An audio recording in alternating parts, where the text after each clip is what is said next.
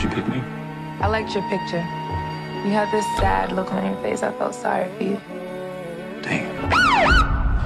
Oh, my bad. Step out of the vehicle. Can I ask why, officer? No. Put your hands on your head and get on the ground now. Are you serious? Get on the ground!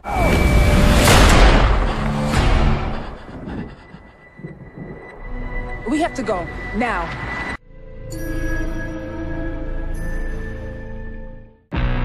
It's all over the news. Chris, I really need to um, impress him the importance of remembering some of those names.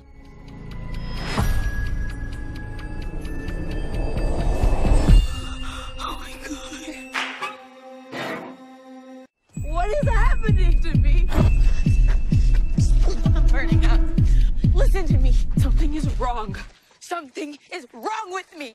Oh my God. Crime today is an American epidemic. There ain't no killer. It'll bring you out of your mind. Thank you for this journey, no matter how it ends. Sink into the floor. It's just a matter of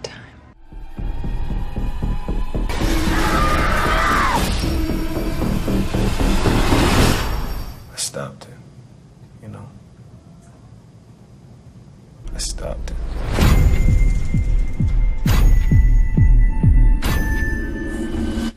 Hey, it's good to see another brother out here.